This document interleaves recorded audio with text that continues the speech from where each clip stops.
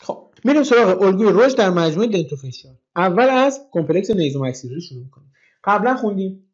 دو تا مکانیزم داریم. یک جابجایی غیر فعال که ناشی از چیه؟ ناشی از رشد قاعده جمجمه یا cartilage push اون ناحیه هستش که بهش میگن passive displacement یا رشد فعال یا active growth که چی هستش؟ در اثر رشد در درز های maxilla بینی رخ میده.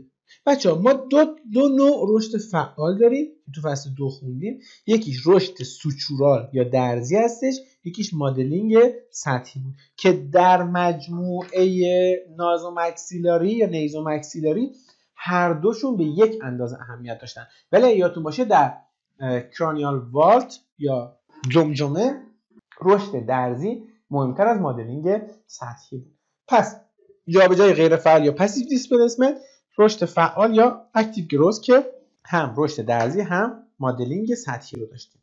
مدلینگ سطحی در maxilla شامل چیه؟ رسوب در ناحیه خلفی tuberosity و درز های فوقانی و خلفی و برداشت همزمان از ناحیه قدامی هستش. حواستون باشه. ناشی در نتیجه چه اتفاقی میفته مکسیلا به سمت پایین و جلو حرکت می‌کنه. پایین و جلو حرکت می‌کنه که تو این شکل اول شما دارید انتروکرانیال بیس رو می‌بینید که داره مکسیلا و اتچمنت های متصل بهش رو به سمت جلو و پایین دیسپلیس می‌کنه. توی این شکل شما دارید چیکار می‌کنید؟ اون رشد فعال می‌بینید که در ناحیه خلفی فوقانی می‌بینید رشد درزی داره اتفاق میفته سوچورهای خلفی فوقانی در هر دو سمت به نسبت مساوی دارن استخوان بهشون اضافه میشه. در ناحیه قدام مادلینگ داره اتفاق میفته که همشون چیه؟ منفی یا تحلیلی هستن. جز یک ناحیه که ANS بود که یادمون هست از فصل دو ANS فقط چی بود؟ تشکیلی بود. بقیه نواحی قدامی تحلیلی هستن.